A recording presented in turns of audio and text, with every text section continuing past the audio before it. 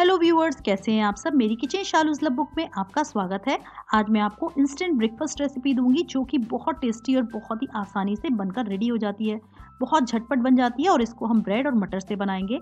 मटर आजकल winter season में इजीली अवेलेबल होती है और मटर से हम इस नाश्ते को बनाने वाले हैं, जिसको आप बनाकर बच्चों के टिफ़िन में भी रख सकते हैं, साथ ही आप इसको ब्रेकफास्ट में इंजॉय कर सकते हैं।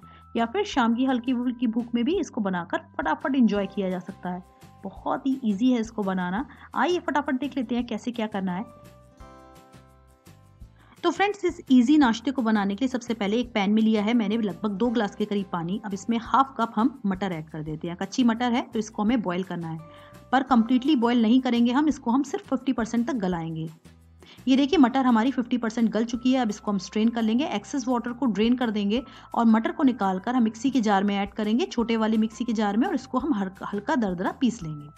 दूसरी तरफ़ ये देखिए, मैंने चार ब्रेड स्लाइसेस लिए, मैंने यहाँ पर मैदे की ब्रेड लिया, आटे की ब्रेड भी ले सकते हैं और ये देखिए, इस तरह से एक मिक्सी का जार ले लीजिए, इसमें हम ब्रेड को तोड़कर ऐड कर देंगे। रफली ये देखिए, इस तरह से तोड़ लीजिए। और चारों ब्रेड स्लाइसेस को इस तरह से हम तोड़कर मिक्सी के जार में डाल देंगे।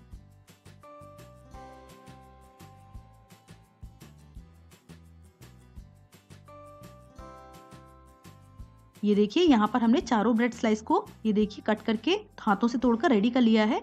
अब फ्रेंड्स इसमें हम ऐड करेंगे वाटर साथ ही हम इसमें ऐड करेंगे नमक। तो ये देखिए, लगभग हाफ़ कप के करीब मैं इसमें पानी ऐड करूँगी। ये देखिए, आधा कप पानी है जो मैं इसमें ऐड कर रही हूँ। इसके साथ ही हाफ़ टी स्पून के करीब हम इसमें नमक ऐड कर देंगे। अब मिक्सी का ढक्कन हम लगाएँगे और इसको हम पीस लेंगे। ये देखिए, कुछ इस तरह से ये पिसका रेडी आपको मिलेगा। आप देख सकते हैं, काफ़ी गाढ़ा है ये।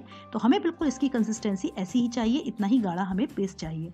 इससे आप बिल्कुल इसको पतला ना रखें, इसलिए पानी बहुत लिमिटेड ही डालें, जिस तरह से मैंने बताया है। अब यहाँ पर देखिए फ्रेंड्स यहाँ पर हमने मटर को क्रश करके रखा हुआ है। ये देखिए, इस तरह से दरदरा मैंने इसको कर लिया है। इसके साथ ही दूसरे बाउल में आप देख सकते हैं, यहाँ पर मैंने ब्रेड पानी और नमक को, ये देखिए पीस कर पेस्ट बना लिया है।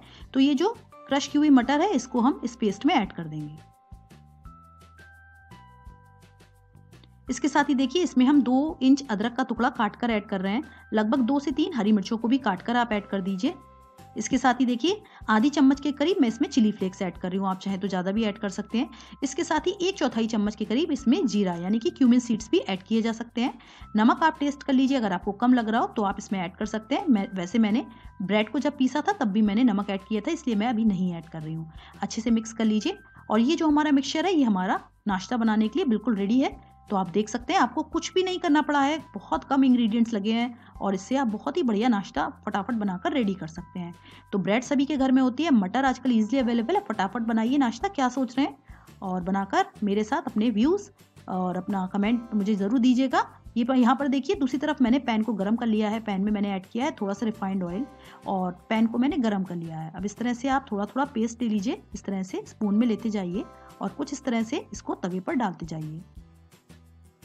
तो लगभग एक एक चम्मच मैं यहाँ पर बैटर ले रही हूँ। ये देखिए, इसको फैलाते जाइए। तो इस तरह से आप इसको बिल्कुल छोटे साइज़ के, एकदम मिनी आप उत्पम भी बोल सकते हैं ब्रेड और मटर के। और देखने में बहुत क्यूट लगते हैं, साथ ही बहुत झटपट बनकर रेडी हो जाते हैं और खाने में तो इसका जवाब नहीं। आप इसको बनाकर ज़रूर देखें और इसको आप हरी चटनी के साथ यहाँ तक कि आप इसको कोरिएंडर चटनी जो होती है डोसे और इडली के साथ जो खाई जाती है, उसके साथ भी ये बहुत टेस्टी लगता है। किसी की रेसिपी आप जानना चाहें तो आप मेरे कमेंट सेक्शन में लिखकर मुझसे पूछ सकते हैं, साथ ही आपको चैनल पर भी इसकी रेसिपीज़ मिल जाएँगी। और ये देखिए मीडियम फ्लेम पर आप इसको नीचे से सिकने दीजिए। एक मिनट के बाद आप ढक्कन लगा दीजिए और लगभग दो मिनट तक हम इसे पकाएँगे। दो मिनट के बाद ढक्कन को हटाएँगे और चेक करेंगे, नीचे से ये सिक गया है नहीं। ये देखिए, नीचे से ये सिक चुके हैं तो हम इन सबको पलट देते हैं।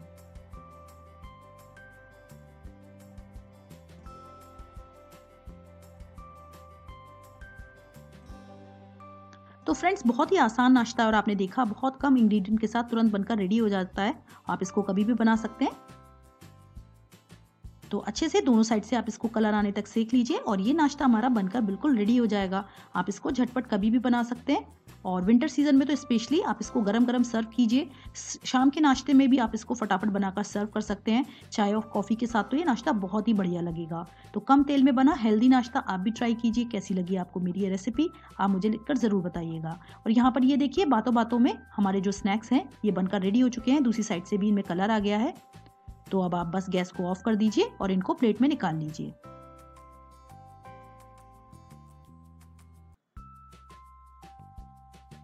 तो ये देखिए, नाश्ता हमारा बनकर बिल्कुल तैयार है। इसको हम प्लेट में निकाल लेते हैं और मैं जा रही हूँ इनको इन्जॉय करने के लिए और आप भी इसको घर में बनाकर ज़रूर इन्जॉय कीजिएगा और मेरे साथ अपनी व्यूज़ ज़रूर शेयर कीजिएगा।